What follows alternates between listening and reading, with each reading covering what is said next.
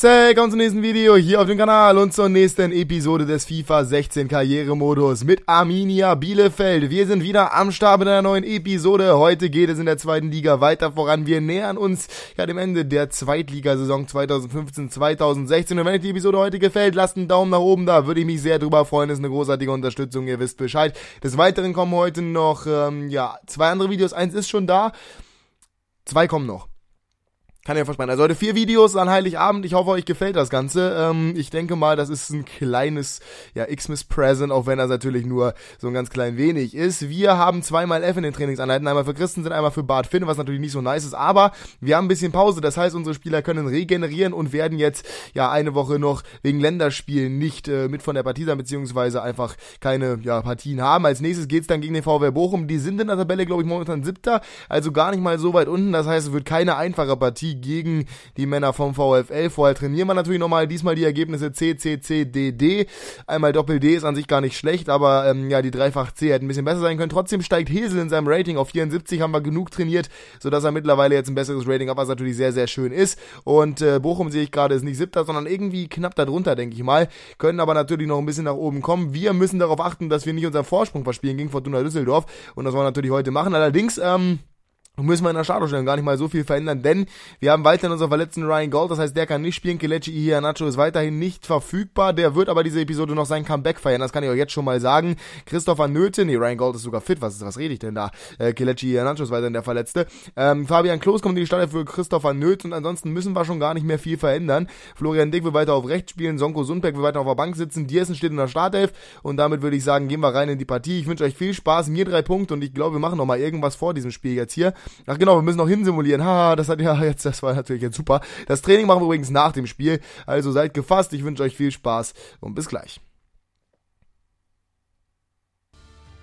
Der Tabellenführer Arminia Bielefeld zu Gast beim VfL Bochum. Die Bochumer momentan auf Tabellenplatz 9 angesiedelt. Natürlich gegen den Tabellenführer ein großes Spiel und das ja am Montagabend natürlich als Topspiel eine richtig schöne Begegnung. Das Stadion natürlich ausverkauft. Unter Flutlichtspielen versteht man in Bochum eine Menge Freude und das sollte sich heute natürlich so widerschlagen. Tabellenplatz 8 momentan 38 Punkte, 20 weniger als der heutige Kontrahent, aber immer noch die Chancen theoretisch weiter nach oben zu rutschen in der Tabelle und die wollten die Bochumer natürlich heute mit der Unterstützung ihrer Fans am Montagabend definitiv wahrnehmen. Auf der anderen Seite die komplett im weiß gekleideten Bielefelder, die beste Abwehr der Liga weiter mit 13 Gegentoren, die zweitbeste Abwehr 24 Gegentore, also das die größte Stärke der Arminia und der Grund, warum sie in der Tabelle so weit oben stehen. Unter anderem natürlich auch Wolfgang Hesel, der Keeper, der Kapitän der Arminen, heute ja zu Gast, nicht an alter Wirkungsstätte, aber an einer Wirkungsstätte, an der er in Vergangenheit schon sehr viele gute Spiele absolviert hatte. Manuel Reimann im Tor auf der anderen Seite davor, Celocci zusammen mit Bastian Schimonek, Perdelo Silla, Weiß Eisfeld, Marseille, Terodde und Marco Terrazino. Gerade die Offensivreihe mit ja, Terodde, Terrazino und Marseille sehr, sehr torgefährlich. Das musste auf jeden Fall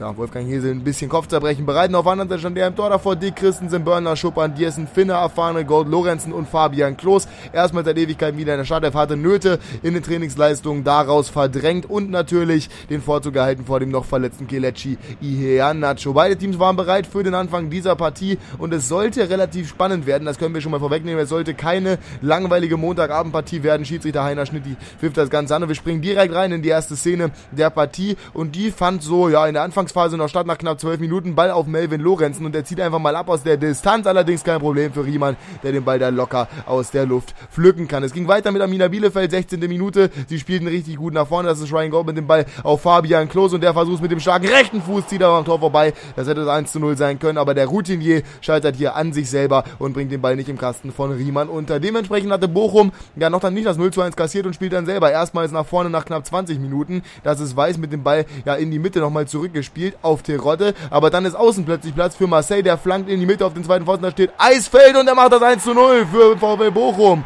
20 Minuten gespielt und der VfL führte gegen Arminia Bielefeld. Schöner Angriff, wunderbar vorgetragen über die rechte Seite, im Endeffekt die Flanke von Marseille und Eisfeld ist umgedeckt.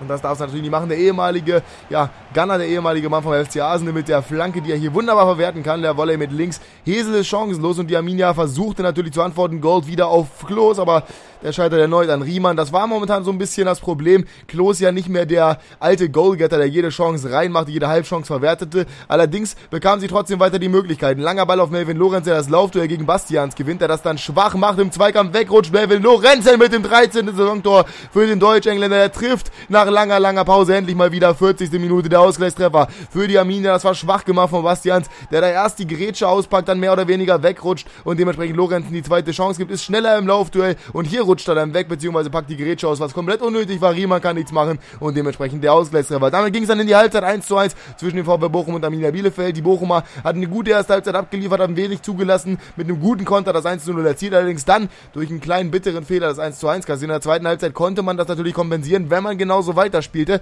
Allerdings kamen sie aus der Halbzeit, naja, sogar stärker raus, ging direkt wieder in die Offensive. Das ist Pertl mit dem Ball, den er wunderbar nach vorne trägt auf Simon Terodde. Der zieht einfach mal ab und Hesel muss eingreifen. Wunderbare Parade des Keepers, der Amina, der Routinier im Kasten, hält den Ball gut fest. Melvin Lorenz auf der anderen Seite im Laufduell gegen Losilla, erfolgreich die Flanke in die Mitte und da ist Klos aus 5 Metern und momentan ist der einfach nicht kalt vom Tor. Haut den Ball da ohne Rücksicht auf Verluste über den Kasten. Das hätte das 2 zu 1 sein müssen aus 5 Metern. Kann man den schon mal machen. Er macht ihn hier nicht und dementsprechend vergibt er die größte Chance. Einmal durfte er noch nach vorne kommen. Der Ball auf Ryan Gold, aber wieder eine klasse Reflex von Reimann, der den Ball zur Ecke abwehrt. Riemann natürlich, Entschuldigung. Gold, der Schotter, auch seit Ewigkeit nicht mehr erfolgreich gewesen, kann den Ball hier nicht im Tor unterbringen. Die anschließende Ecke auch von ihm in die Mitte gebracht und zwar in die Mitte auf den Kopf von Melvin Lorenzen. Der Kopfball allerdings abgewehrt, nochmal herausgeschlagen dann von Eisfeld und es gibt einen weiteren Eckball, 77. Minute auf den Kopf von Dennis Mast, mittlerweile eingewechselt, aber ja, wieder Riemann da und haut den Ball aus der Gefahrenzone im Endeffekt raus. Novioka ist dann auf der anderen Seite nochmal in der 90. Minute mit einem Versuch für Bochum.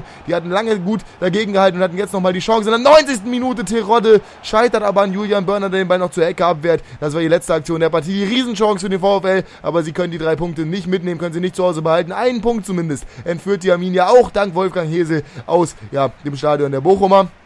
Bitter natürlich, dass sie die Riesenchancen unter anderem von Klose und Gold nicht nutzen konnten. Sie waren überlegen, sie waren das bessere Team. Im Endeffekt hat Bochum sie aber den Punkt erkämpft und verdient und dementsprechend trennen sich diese beiden Mannschaften im Topspiel der zweiten Bundesliga, das wirklich eins war, mit 1 zu 1. Klos ist leider nicht mehr der Alte, muss man leider so sagen. Der war in der Drittligasaison ja für Bielefeld richtig, richtig stark. Auch in der Realität ist er momentan noch ziemlich stark für die Bielefelder. Gerade zu Hause einer der Torgaranten, beziehungsweise mit der Einzige, der da überhaupt Tore mal erzielt. Allerdings, ähm, naja, hier bei uns habt ihr gerade gesehen, den kann man schon mal machen, auch an einem schlechten Tag. Da will ich mir, da will ich ihn gar nicht so sehr kritisieren, aber trotzdem, ja, hm, ich bin ein bisschen am Verzweifeln. Ich weiß nämlich nicht, wen ich da spielen lassen soll. An sich ist Klos nochmal vom Rating her besser als Nöte, aber Nöte ist halt irgendwie effektiver und mir irgendwie auch sympathischer, weil Klos halt, der ist Routinier, der ist quasi schon fast eine Legende bei Bielefeld, aber ich weiß es nicht. Schreibt mal in die Kommentare, was meint ihr? Christopher Nöte oder Klos? Wer sollte den Vorzug erhalten? Aber ich habe ja schon angekündigt, Kelechi Iheanacho ist zumindest wieder so fit, dass er demnächst wieder spielen kann und dementsprechend ist sowieso die Frage nicht mehr so lange da. Trotzdem für die nächsten Partien sollten wir da nochmal eventuell, ja, beziehungsweise auch für eventuelle weitere Verletzungen sollten wir da eine Alternative haben. Hesel möchte mehr Gehalt haben. Natürlich wollen wir ihm den Wunsch erfüllen. Ist unser bester Keeper, beziehungsweise der Keeper überhaupt, der beste Spieler, den wir im Kader haben mit seinem 74er Rating, abgesehen von Ryan Gold, der ja nur geliehen ist. Möchte aber 40.000 haben und das können wir uns beim besten Willen einfach nicht leisten, wenn wir Bart Finne behalten wollen. Und äh, dementsprechend können wir das einfach nicht machen. Suchen schon mal nach einem Ersatzkeeper. Samuel Radlinger habe ich da auf meiner Liste. Das liegt einfach daran, dass der Kollege geglitscht ist und dass man natürlich das ausnutzen könnte. Allerdings weiß ich noch nicht so wirklich, ob ich das mache. Ihr habt übrigens in die Kommentare geschrieben, was den Vereinswechsel angeht. Da seid ihr so ein bisschen zwiegespalten. Das kann ich auch verstehen. Teilweise sagt ihr, ja, das ist, oder klingt nach einer relativ guten Idee. Teilweise sagt er auch, nee, bleib mal lieber bei deinem Verein. Das ist auch keine schlechte Sache. Ich weiß noch nicht genau, was ich machen werde. Darum geht's jetzt aber auch im ersten ähm, Fall gar nicht. Denn wir spielen jetzt erstmal gegen Eintracht Braunschweig in der nächsten Partie. Und ich denke mal, das wird richtig spannend. Viel Spaß und bis gleich.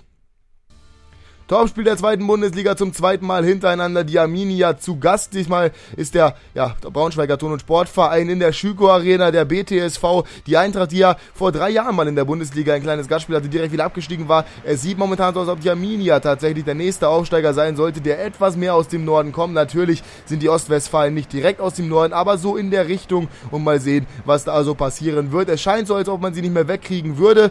Und natürlich wollte Braunschweig heute trotzdem ihr Bestes versuchen, um irgendwie den Favorit Favoriten noch zu ärgern. Mit Gikiewicz im Tor unter anderem einer der besten Keeper der zweiten Liga, der die wenigsten Tore mitkassiert. Spieler im Fokus Melvin Lorenzen zuletzt sein 13. Saisontor geschossen. Mittlerweile hat er da ein paar Leute, die aufholen, unter anderem Jimmy Hoffa mit 10 Toren und Simon Terodde, der in der 90. Minute zuletzt die Riesenchance gegen den, ähm, ja, gegen den DSC vergeben hatte. Die beide mit 10 Saisontoren dastehen. Trotzdem noch drei Punkte Vorsprung. Das heißt, es sieht momentan gut aus für die Torschützenkanone, gut für den Aufstieg der Arminia. Wir gucken uns die Startaufstellung an. Da hat sich nichts geändert im Vergleich zur letzten Woche. Abgesehen davon, ja, dass der Kollege Fabian Klos nicht mehr so unumstritten in der Startelf stand. Die Fans forderten Christopher Nölte, Kelechi Iheanacho ja weiterhin verletzt, heute zumindest mal wieder auf der Bank aber die Fans wollten trotzdem eine Nöte haben, denn Klos zuletzt mit schwachen Leistungen. Auf einer Seite Gikiewicz, Ofusu, Aye Dekali, Baffo, Korea, Reichel. Dazu natürlich noch Kollege Adam Matuschik, Boland, Omladic und Franco Niel zusammen mit Jan Hochscheid in der Offensive. Das sieht an sich ganz stark aus. Das Problem ist, wie gesagt, bei der Arminia Montan die Offensive. Zwar trifft Lorenzen jetzt anscheinend wieder,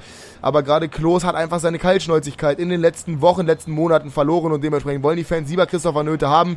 Wie Trainer MGT darauf reagieren wird, ist noch nicht ganz klar. Wir springen rein in die Partie, 23 Minuten gespielt und die erste Chance für die Arminia Flanke von Dick und da ist Fabian Klos mit dem Kopfball, aber auch der war wieder nicht so stark. Es gibt den anschließenden Eckball, aus dem aber nichts wird. Es geht weiter mit Action von Arminia Bielefeld, 40. Minute, Bart Finne mal mit einer Flanke in die Mitte und die wird richtig gefährlich für Stoffel Giekewitz, kommt nämlich direkt auf den Kasten, hat er zuletzt mal gemacht, wo er den Ball gegen den KSC auf die Latte geschossen hat. Hier allerdings, ja, ist der Ball von Polen dann sicher gefangen. Dann, ja, kommt mal, ja, der BTSV nach vorne mit Matuschik, aber Hesel ist da und kann den Ball nach 45 Minuten locker halten. Es war eine relativ unspannende Partie, denn es gab wenige Torchancen. Wenn dann mal beispielsweise über den Konter hier Ryan Gold, klasse bei Mitnahme, dann der Ball weitergeleitet auf Fabian Klos, der wie gesagt in Kritik stand, dass hier aber gut macht mit der Flanke auf Lorenzen, aber der kommt nicht ran und dementsprechend bleibt es weiterhin beim 0 zu 0. Damit ging es an die Kabine, 0 Schüsse, 0 Tore für Melvin Lorenzen, zuletzt getroffen, aber aus seiner Krise anscheinend immer noch nicht ganz befreit. Das Tor war ja auch mehr Glück als Verstand. Zweite Halbzeit musste ein bisschen was besser werden auf beiden Seiten, noch nicht so viele Chancen, wie gesagt. Sie versuchten aber weiter nach vorne zu spielen. Florian Dick nach 66 Minuten mit der Flanke auf Christensen, allerdings kommt er nicht an den Ball. Es gibt aber zumindest eine Ecke für die Arminia und da sind sie theoretisch gefährlich. Ball reingebracht von Tim Diersen in die Mitte. Und da steht Ryan Gold mit dem Kopfball. Das sieht auch gut aus. Aber der kleinste Mann auf dem Platz, wenn der schon mit dem Kopfball aufwartet, dann ist das immer kein gutes Zeichen. Tim Diersen ging dann aus der Partie genauso wie Melvin Lorenzen. Dafür kam Kelechi, Ihe Nacho und Noah Sonko Sundberg in die Partie. Ja, Christensen rückte auf die 6, Sundberg in die Verteidigung und Lorenzen ging raus für den Nigerianer, der wieder genesen war, noch nicht bei 100%, aber zumindest mal ein kleines Gastspiel wieder haben sollte. Und er hatte direkt eine richtig gute Chance. Das ist Ryan Gold mit dem Ball auf Fabian Klos. Der legt weiter auf den Nigerianer, der sich die Klasse macht, setzt sich gut durch mit dem schwachen rechten Fuß der Abschluss. Aber Gikiewicz ist da und verhindert das 0 zu 1 aus Braunschweiger Sicht nach 83 Minuten. Die letzte Aktion der Partie war das dann trotzdem. Es passierte nichts mehr. Braunschweig nimmt zumindest einen Punkt mit von der Schüko Arena. Bielefeld zum zweiten Mal hintereinander nur entschieden. Momentan läuft es nicht so bei der Arminia. Lässt einfach die Torgefahr vermissen. Vielleicht muss da was passieren. Vielleicht mit dem wiedergenesenen Nacho. Wir werden es in den nächsten Wochen sehen. Er sieht trotzdem noch gut aus für den Aufstieg. Ob es wirklich klappt, werden wir auch in den nächsten Wochen sehen. Momentan noch Tabellenführer, aber der Vorsprung schmilzt. Und das nicht nur bei der Arminia, was die Punkte angeht, sondern auch bei Melvin Lorenzen, was den Vorsprung in der Torschützenliste angeht. Da muss was passieren bei der Arminia, aber MGT wird sicher was einfallen. Ich muss ganz ehrlich sagen, meine Stimme, beziehungsweise meine, ähm, ja, allgemein meine ganze Verfassung, spricht momentan nicht dafür, dass ich viele Videos aufnehmen sollte, aber ich mache es natürlich trotzdem für euch. Das Problem ist, ja, dass das Ganze ein bisschen sich verschnupft anhört und ein bisschen, ja, Heiserkeitserscheinungen. Aber ich denke mal, das wird äh, wieder in den Griff zu äh, bekommen sein, bekommen zu sein. Irgendwie sowas um den Dreh. Ich hoffe trotzdem, hat es gefallen. Wenn ja, lasst einen Daumen nach oben. Da wir werden in den nächsten Wochen sicherlich wieder die drei Punkte einfahren in einzelnen Partien. Nicht nur in zwei Spielen dieser Episode, wo wir heute wieder zwei Punkte mitgenommen haben. Wir verlieren immerhin nicht. Aber das muss nicht heißen, denn äh, auch unentschieden, wie es ja bei Arminia momentan eine Realität ist, reichen teilweise nicht, um den Aufstieg klar zu machen. Wir sehen uns auf jeden Fall beim nächsten Mal wieder. Es wird schon werden. Ich wünsche euch noch einen wunderschönen Tag und fröhliche Weihnachten bzw. einen schönen Heiligabend mit eurer Familie. Bis dann. Haut rein und ciao. Haut rein und ciao.